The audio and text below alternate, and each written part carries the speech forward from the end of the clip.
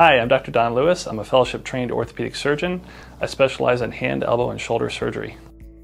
The rotator cuff can be injured in different ways traumatic, repetitive, or age related degeneration. Overhead athletes and manual laborers can be injured through repetitive motion or sudden events. Also, the elderly can injure the rotator cuff through natural age related degeneration. If you have persistent shoulder pain with use or even while sleeping at night, it's possible you've injured your rotator cuff.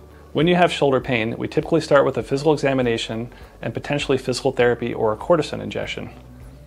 If your pain persists, we often move forward with an MRI to evaluate your rotator cuff.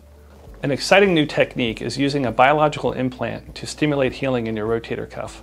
The procedure involves minimally invasive arthroscopic surgery and placing a postage stamp sized implant on top of the rotator cuff and securing it with small absorbable clips. After placement, it is typically completely incorporated into the rotator cuff within three to six months.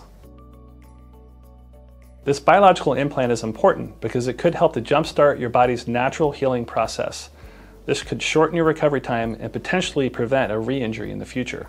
My experience with using this implant on rotator cuff tears is that you have a shorter recovery, less pain, and a quicker return to function compared to my traditional rotator cuff tears.